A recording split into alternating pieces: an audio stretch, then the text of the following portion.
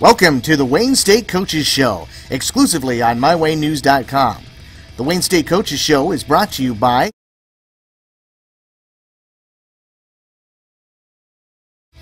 Good morning. Welcome to another week of our coaches show. I am here with uh, volleyball coach Traci Krusemark, um, we're just gonna catch up with her. We talked to her a little bit last week. Um, so you guys had a few games this week. Is that correct? Yes. And so just let me know how those went. People are curious and want to hear about it. And then coming up, what we have going on? Okay, so actually uh, Monday night was the beginning of sub districts. Okay. And so we played um, Norfolk Catholic. The, uh, we were the number one seed and played Norfolk Catholic, and we beat them in three sets. And then Tuesday night we played the number two seed, uh, Pierce Blue Jays, and we actually lost to them in five sets. Oh. So we are done.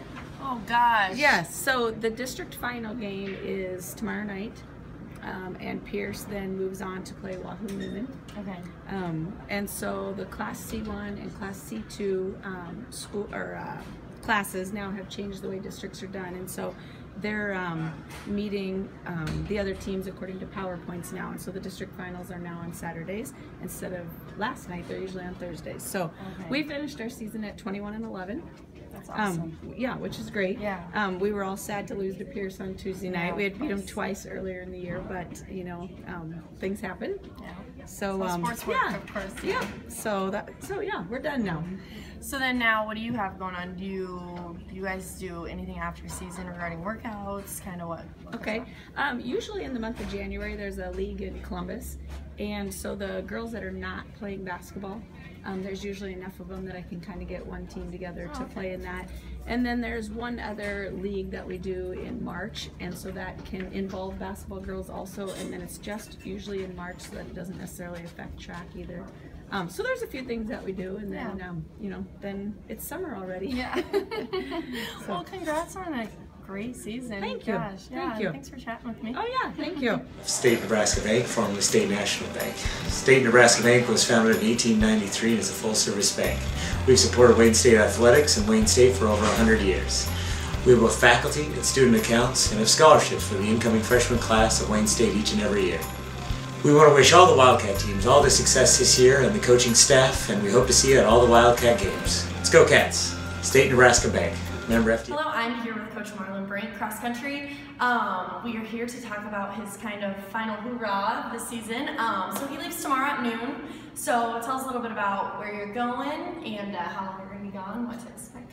Yeah, we're going up to uh, Yank, uh, Yankton, Sioux Falls, South Dakota, uh, Yankton Trails Park. Kind of confusing there, but uh, it's where we've ran the uh, the conference meet at two weeks ago, and then also we ran the first meet of the season there as well. So our athletes are very familiar with the course. Uh, it's the NCAA Central Regional Championships.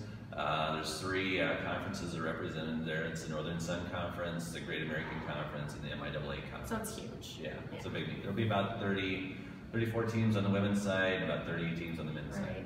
So, and then the top uh, four teams qualify for the national meet, and then the top three individuals that are on the uh, qualifying teams also advance. So how do you guys expect to fare? I mean, obviously it's a huge meet. So I'm sure you guys talk about goals. Um, where do you expect to kind of end up? Well, we're hoping on the, uh, the men's side that we can be in the top 20 teams. Um, you know, we feel like that's an attainable goal uh, if we run well. And on the women's side, we're hoping for the top 25. So that's kind of where we're Oh, shooting that's for. good, yeah. And um, for seniors, I guess I can't remember. Do you have seniors on the men's or women's side? Yep, on the men's side, we've got uh, Joy Black and Corbin Lynn. And then on the, men, the women's side, we've got Andrea Day Simone and Sarah Post and Mary Alderson. They'll be running their final races. Okay, so kind of losing, yeah. losing a lot of strength on the team there. Okay, well, and then um, what what do you expect for weather? I suppose we always. Uh, it's supposed to be beautiful up there. It's supposed to be about like it was for conference, probably be um, around the 50 degree mark for the men's race at 10 o'clock there, and then the women's race, uh, probably upper 50s to low 60s at 11:15 they run. So uh, should be perfect racing conditions. You know, the athletes are excited. Uh, we've kind of been tapering back their workouts, so uh, their legs are fresh and ready to go, and um, you know, hopefully get some good performances there. Awesome. Well, we look forward to it. Sounds good. Thank Thanks. you. When we invite you to be a part of it at Wayne State College, we mean learning from a professor you can call up even after you're in med school, starting your own club, being elected to a leadership role as a freshman, volunteering over spring break, breaking records, influencing the next generation, finding a home away from home, Be a part of it at Wayne State College. Hello, I'm here with Dan McLaughlin, football coach. Um, kind of a big weekend, last home game of the season. Um, so what do you expect from Mankato? I mean, obviously they're very good, but um, what's your guys' strategy to beating them? Well, their uh, their quarterbacks are very good. Uh, they, they have a strong quarterback run game, and we've got to be able to try to neutralize that a little bit. Their defense is very good, as you said. They've been probably the, the best team in the league the last several years, and uh, uh, playoff teams done a great job. And so uh, we, we have to we have to try and neutralize their quarterback run game a little bit and eliminate big plays uh, as far as our defense is concerned, and then offensively you know, the thing that's hurt us is red zone. You know, we just got to be able to capitalize when we get those opportunities. Right, and so it's Parents Weekend this weekend, right? No, uh, is it? It's family weekend. Family weekend. Senior okay. day. So, any is anything special going on at halftime or? We'll honor our seniors before the game, uh, and uh, you know, talk about them a little bit, uh, each and every one, and, and thank them for all the things that they've done for us. Um, and then kind of what to expect. How have the guys seemed this week? Do they seem energized, nervous, ready to play Mankato? Well, we've had a good week of practice. You know, the kids are excited to play a great football team, and uh, um, you know, we've had a good week, and uh, they're getting ready. Just uh, been impressed with the energy they brought every day, and getting ready to go. Good. Awesome. Good luck. Thank you very much. Pack and Save in Wayne is a proud supporter of Wayne State Athletics and host of the Saturday tailgate parties on campus at Memorial Stadium for every home football game. Stop in to check out their outstanding produce, their quality selection of meats, and their top notch deli with the best fried chicken and salads around. Hackensack supports Wayne State Athletics, and we hope to see you at the games this year. Go Pats! Pack and Save, a proud supporter of Wayne State College Athletics, located on West Highway 35 in Wayne. Hello, I'm here with Scott Kneifl, head volleyball coach.